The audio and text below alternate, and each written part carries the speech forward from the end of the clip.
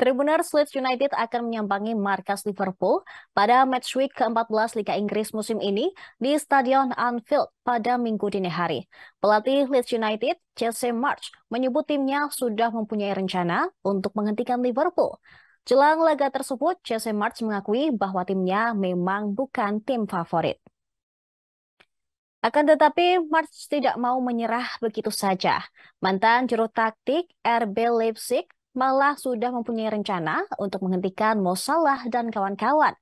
Tak ingin menggambarkan Liverpool punya kelemahan, March justru ingin membuktikan skuadnya mampu menaklukkan lawan. Namun ia tidak membeberkan rencana untuk menumbangkan Mo Salah dan kawan-kawan.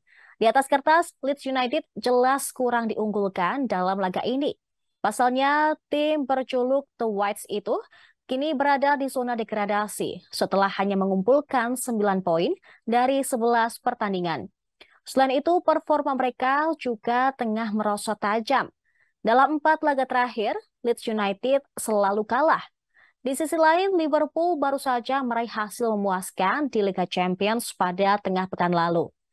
Mohamed Salah CS sukses menggulung Ajax Amsterdam dengan skor 3-0 Hasil positif tersebut diyakini akan meningkatkan kepercayaan diri Liverpool jelang melawan Leeds United.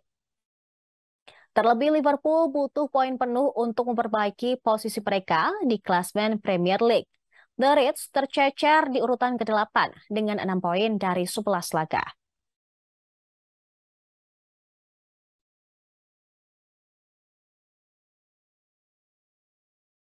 Terima kasih sudah nonton. Jangan lupa like, subscribe, dan share ya.